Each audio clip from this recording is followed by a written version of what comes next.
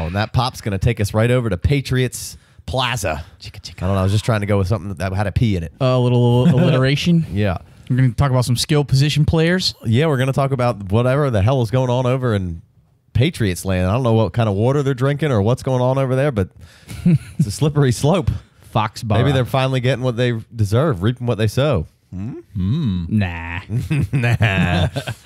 They're still in the AFC. It's not like it's not All like a they're not. All of a sudden, they got trainers as bad as the Chargers. Yeah, for sure. So a lot of things have been going down with the Patriots. Obviously, Jordan Matthews out of here, bad Uh, hamstring injury. They, they, IR. they shipped him out.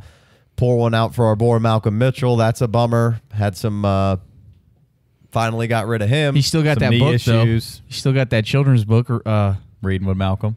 well, that's readwithmalcolm.com. the magician's hat. But it's the magician's hat. Yep, he's still uh, going on. And it's a bummer. Young guy had a great rapport with rookie with uh, with Tom Brady right off the rip as a rookie. Yep. Could kind of run every route. Was open.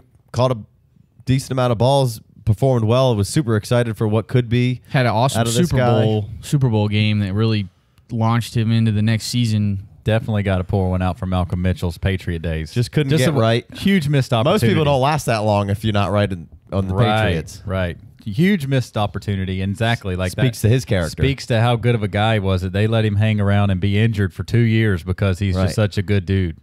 Good for you, Malcolm Mitchell. So we sorry got that Matthews sorry that out of there. We got Malcolm Mitchell out of there. Sony Michel. Everyone was curious if the bone on bone was for real, and I don't know if this is linked to that. But Well, flare if the- up. If, the- if maybe the Patriots just floated that out to grab a hold of him, but he's having a procedure. Said he should be back by week one, but you don't like anybody having a procedure hmm. right now and saying, "Yeah, I can't wait to be back for week one." Yeah, especially yeah, I got rookie missing time. if there's a knife and blood loss involved, this this isn't this isn't the time. Yeah. yeah, Doesn't bode well, and, and he's missing valuable time here, especially as a rookie trying to come in and learn this playbook. So it's a big And bummer. to wrap it up, confidence in the team. to wrap up what's going on over there, Bill Belichick showed up to the Hall of Fame with sandals on, Flip flops to life. Nothing's wrong here. flip flopping it. Nothing to see. Drove his boat over. Yeah. Was there some bulge that was going on, Big Co? That uh, I thought I saw some bulge in the picture. I, old man Chubb. And maybe it was one of those times like a 3D eye where you were trying to find what was because you couldn't figure it out because we're did. from Charleston, South Carolina, and the Right. and the, the dress pants and a dress shirt with flip flops is really kind of a Charleston tuxedo. ca- pretty Very- pretty decent event. throw a navy blue blazer on there, and Yeah, Yeah, You're you- ready to go to a You- formal You wedding. might as well just left the yacht club. yeah, I- Exactly. I, didn't have any problem So, with flip flops. You know, you're looking you're looking so hard trying to find something. You're like, is that a is that a bulge? I thought. am I supposed to be looking at his mid region I thought I thought we had a little, you know, chub on Bill Belichick. That's what I thought the big big deal was for. He's going for a Viagra uh, Sponsorships. sponsor. Does he have any sponsors? I wonder if he's getting He sponsorship doesn't. money. He doesn't. No sponsors. No way, man. Kraft's just funneling him money into a Swiss account. Yeah. Anyway, so let's talk about some of the the fallout from from what's going on here. Absolutely. I think first and foremost, out of all this, I think it's Gronk, Gronk, and more Gronk. And I mean, I don't know if this guy can score any more points or average any more points than he was. I think we've stated this a couple times, going back to like 2012 when this guy's been on the field and playing. He's averaged over 17 points in most contests that he's been in. Um, it's hard to do more it's than hard that. to do more than that, but I think we're about to find out because I mean, this dude's about to be all over the field. If he can stay healthy, he's going to get pummeled with Sure. tons of targets. Um, so it just makes you know, obviously, people are still buying Gronk at a higher price tag in Dynasty, and it makes it even pay off even more if you already bought some Gronk. Mm-hmm. Um, not you know, I don't. None of us really love it because of the the injury and and the what's going on with the Patriots and all that um, retirement, all that kind of stuff. We don't.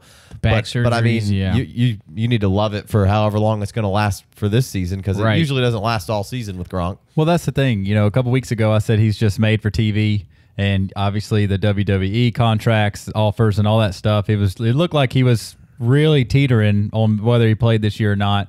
If you had, if you're an existing Gronk owner, you were shaking in your boots with your with your investment there, and he comes back, and then the injuries and the release this guy and release that guy, and like you said, Casey, just adds up for like.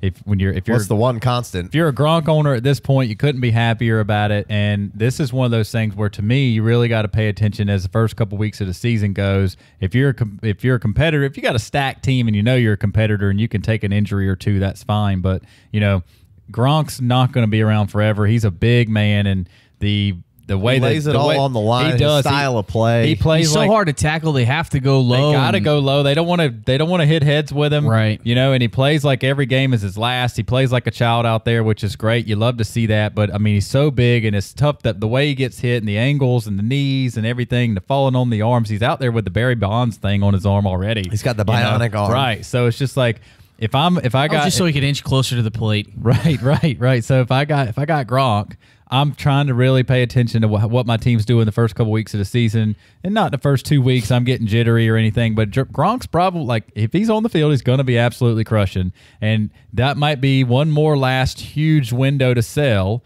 if you're not going to be able to use him. And that's another thing too. Like if you're really not set up for the playoffs and you don't kid yourself, if you're really not in it for the long haul, Gronk's going to cost you a draft pick. Yeah. Like he's going to cost you the ability to get that one two one three one one. Yeah, you, don't want to go seven and seven, or, Right, you know, right, right. it- And I'm not saying throw is. throw it away before it gets started, but if if Gronk's But don't list your for mas- sure. last window. yeah, you know, you, ha- you have to know when to when to cut it off because it is, you know, you're in that fight and you're like, ah, I could I could maybe make it and I, I can make a run. You got to Mm-hmm. Yeah. be honest and say, you know what, maybe I should get out while I can. and- Absolutely. and just and I- and the other side of that, you're Right. looking at the guy. You're the team that you're like. They're, it, the world would have to come to an end for me not to make the playoffs. So I'm looking at that guy who's got a really you know halfway team, and he's got Gronk, and I'm trying to I'm trying to pick Gronk off of his team at sell the right some time. of my picks that I know are going to be in the playoffs. I can sell maybe some of my farm team that I got exactly. growing over here. I'm trying to pick. I'm trying to pick Gronk off of that team that